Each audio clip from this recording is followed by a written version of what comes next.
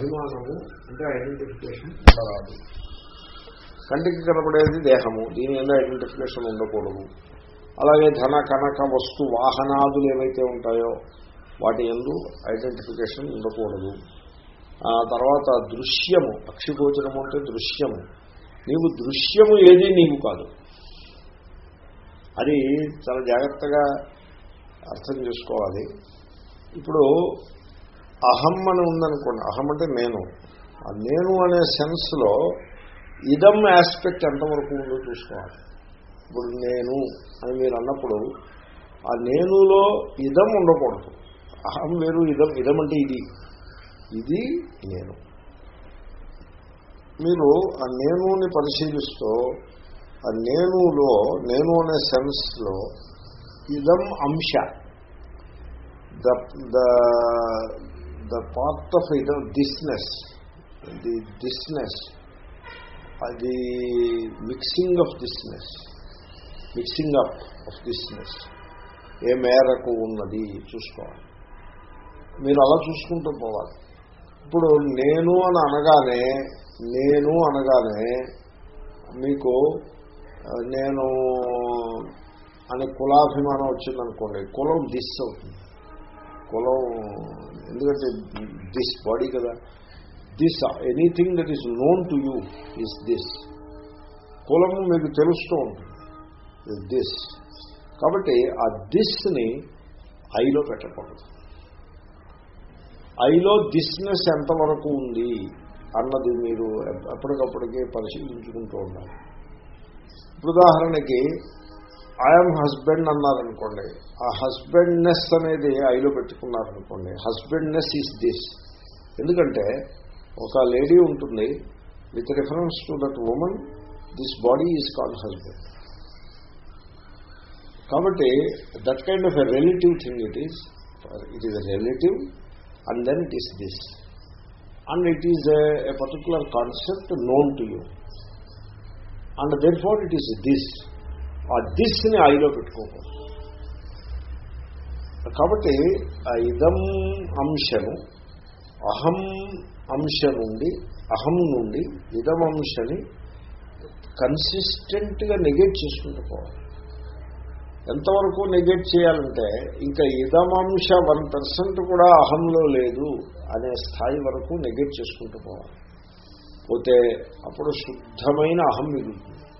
అహం ఎలా ఉంటుందంటే it is the knowingness completely divested of the known known ఏమీ దాంట్లో ఉండదు. అలాంటి నోయింగ్నెస్ చిత్ చైతన్య రూపంగా ఉంటుంది. అది నీవు. నా అక్షిగోచర. అసంగోసి.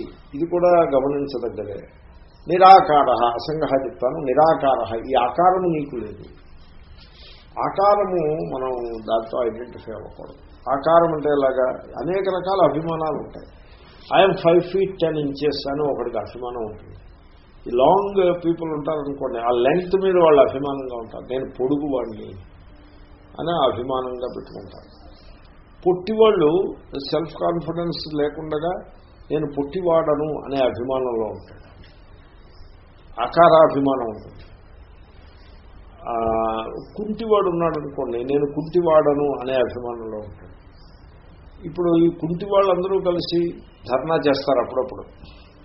సెక్రటేరియట్ దగ్గర సెక్రటేరియట్ దగ్గర అన్ని రకాల ధర్నాలు అవుతాయి కుంటి వాళ్ళ ధర్నా కూడా అవుతుంది. అప్పుడు కుంటి వాళ్ళందరూ మేము కుంటి వాళ్ళం మేము కుంటి వాళ్ళం అని అప్పుడు పాజిటివ్ అభిమానాన్ని చూపిస్తారు. They are very proud of being లేదు. అక్కడ ధర్నాలో పాల్గొంటుంది. వేరే యాజ్ ఇండిపెండెంట్గా ఇండివిజువల్గా ఉన్నప్పుడు he feels sad about his own state ఆకారం మీద అభిమానం. అలాగే రంగు మీద అభిమానం ఉంటుంది. నేను నల్లగా ఉన్నానని దుఃఖించి వాళ్ళు ఎంతోమంది ఉంటారు. ఫెయిర్ అండ్ లవ్లీ అని సో ఆ క్రీమ్ రాసుకుంటే ఫెయిర్ అండ్ లవ్లీగా ఉంటాము అని వాళ్ళు అదే ఒక కలర్ ఆఫ్ ది స్కిన్ మీద అభిమానాన్ని బేసిస్గా వాళ్ళు బిజినెస్ చేస్తూ ఉంటారు. సో ఈ రకంగా ఆకారం మీద అభిమానం ఉండకూడదు. అంతేకాకుండా ఈశ్వరుణ్ణి ఆరాధించేప్పుడు కూడా ఆకారము యొక్క అభిమానంతో ఆరాధిస్తారు. ఎందుకంటే మీరు అటువంటి వాళ్ళని చూసినట్లయితే వాళ్ళు వాళ్ళంత వాళ్ళపై వాళ్ళు చాలా ఆకారం యొక్క అభిమానం గట్టిగా కలిగి ఉంటారు.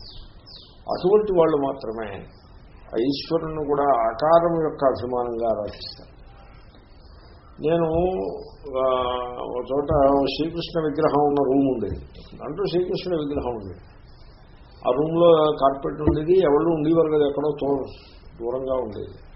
అప్పుడప్పుడు పోయి అక్కడ కూర్చుని మెడిటేషన్ చేస్తూ ఉండేవాడు ఆ కూర్చోవడంలో ఆ కార్పెట్ పొజిషన్ అదే ఆ కృష్ణ విగ్రహానికి ఎదురకుండా ఉండేది. అక్కడ కూర్చుని కడుపుసుకుని మెడిటేషన్ మెడిటేట్ ఓ రోజు వెళ్ళేప్పటికి ఏమైంది?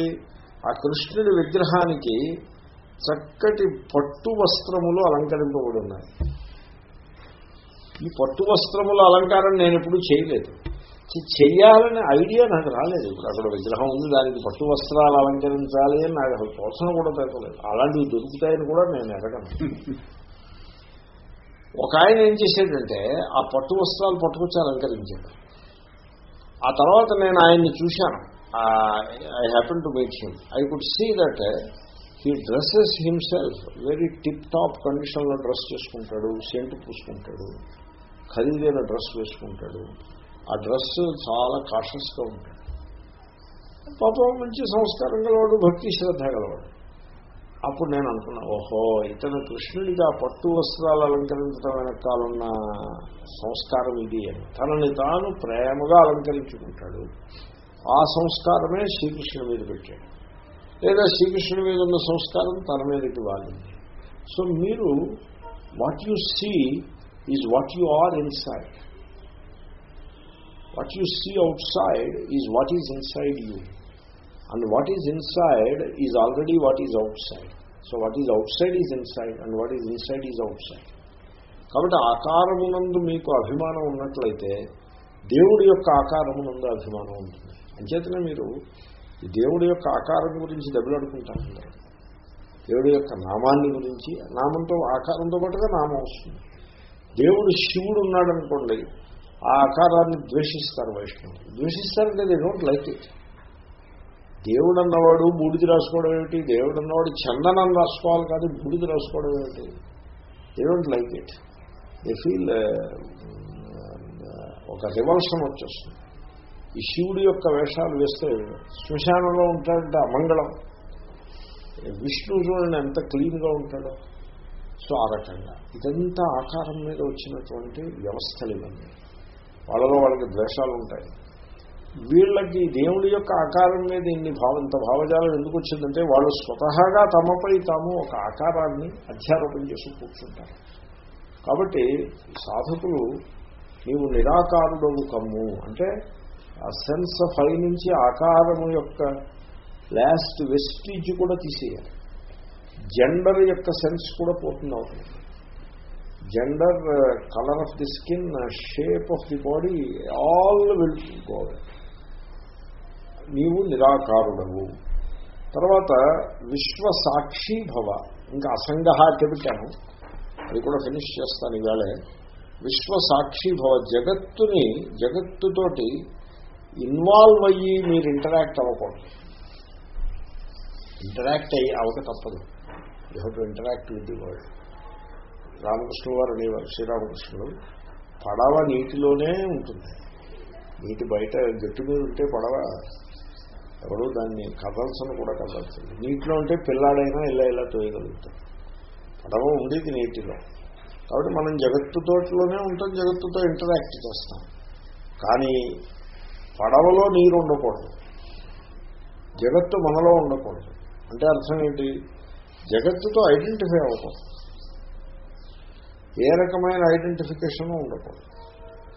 అలా నిర్లిప్తంగానే ఉండాలి. అంటే అన్ఇన్వాల్వ్డ్ విట్నెస్ అన్ఇన్వాల్వ్డ్ విట్నెస్ అలాగే ఉండాలి. ఇప్పుడు జగత్తులో ఇప్పుడు కాంగ్రెస్ నెగ్గి బీజేపీ ఓడిపోయింది అనుకోండి. అన్ఇన్వాల్వ్డ్ విట్నెస్ బీజేపీ నెగ్గి కాంగ్రెస్ ఓడిపోయింది అనుకోండి. అన్ఇన్వాల్వ్డ్ విట్నెస్ ఉండాలి. అంటే మీరు జగత్తుతో ఎలా ఉండాలో చెప్తున్నారు ఇప్పుడు జగత్ ఈ జగత్తులో ఏదో ఎవరో ఏదో దొంగతనం చేశారనుకోండి. దొంగతనం చేస్తే వాళ్ళందరూ దొంగని పట్టుకుని కొట్టి ప్రయత్నం చేస్తుంటే మీరు కూడా వెళ్ళి ఓ దెబ్బ వాడి మీద వేయకూడదు.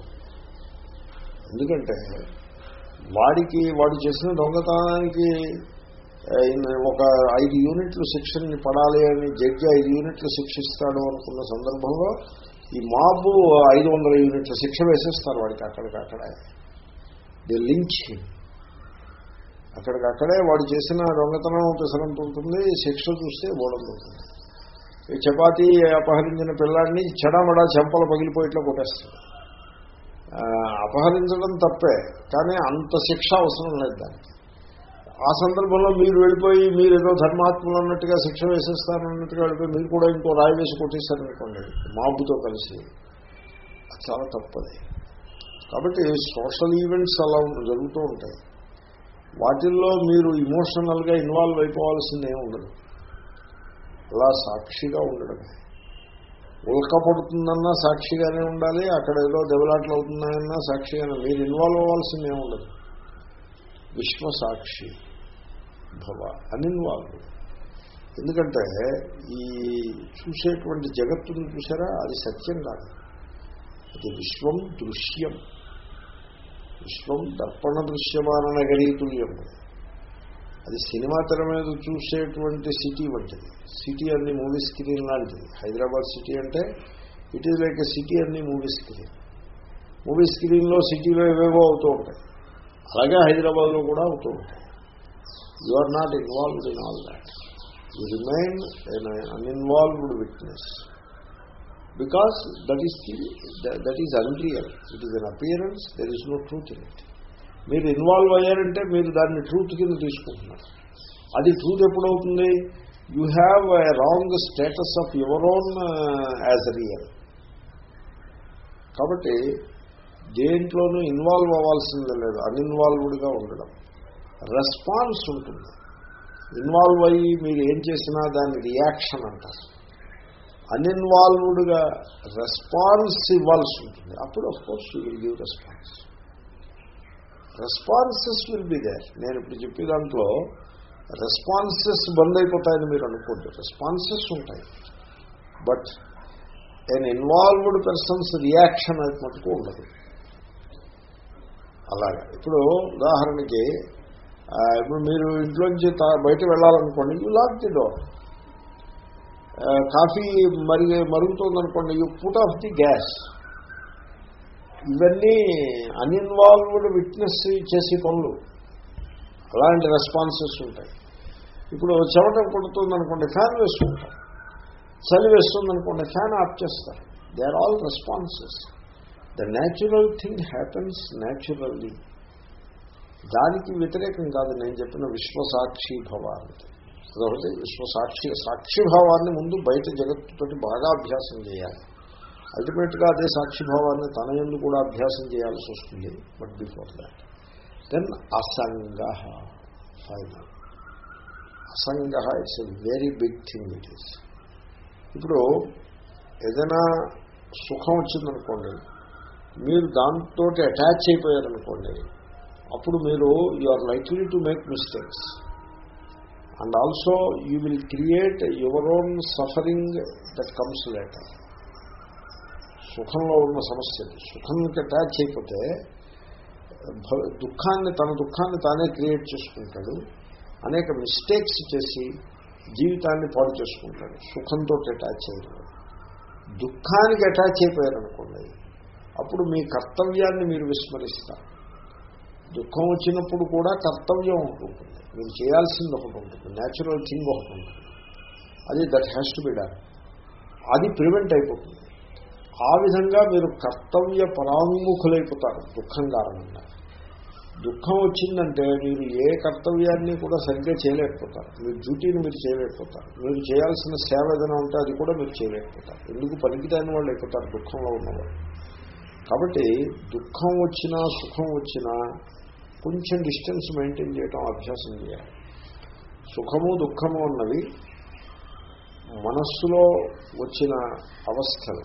They are mental states created by interaction with the outer events outer events ఉంటాయి దానివల్ల మెంటల్ స్టేట్స్ తోటి ఇంటరాక్షన్ వల్ల ఒక స్టేట్ క్రియేట్ అవుతుంది మైండ్లో దట్ ఈస్ సుఖ దుఃఖాల యొక్క లక్షణం అది. అవుటర్ ఈవెంట్ని బట్టి మనస్సులో ఒక సుఖం నిర్మాణం అవుతుంది మెంటల్ స్టేట్ అవుటర్ ఈవెంట్ని బట్టి దుఃఖం నిర్మాణం అవుతుంది అనదర్ మెంటల్ స్టేట్ ఇవి మెంటల్ స్టేట్స్ మాత్రమే.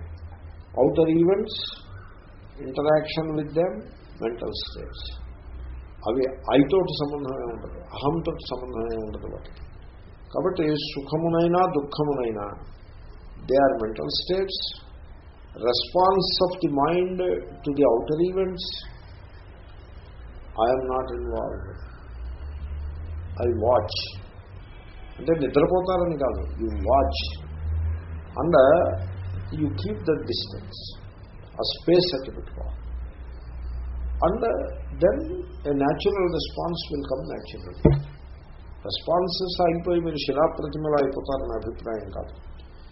కాబట్టి అసంగోసి నీవు అసంగుడము కూడా. శ్లోకముందాము.